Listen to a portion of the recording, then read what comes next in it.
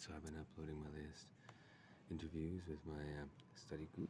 Uh, I've been giving stars and the, the power stars in the in the new media and in new, Hollywood. Um, looking over the kind of points that they have to make and the things that they have to add to the media in terms of their archetypal presence, if you will. And also been getting uh, some numbers back about uh, uh, about interest in uh, in the things that I'm saying and the things that they are saying. And uh, we've learned a few things. We've looked at the numbers.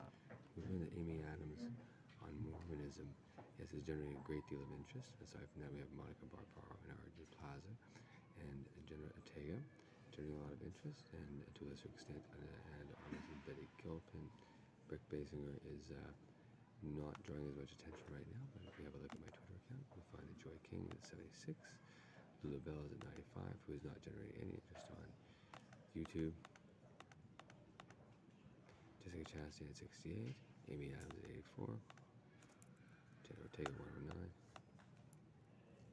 Monica Barbaro at 180, and Betty Gilpin at 205, Square Nesna picture, and Anya Taylor Joy at 70. If we go up further,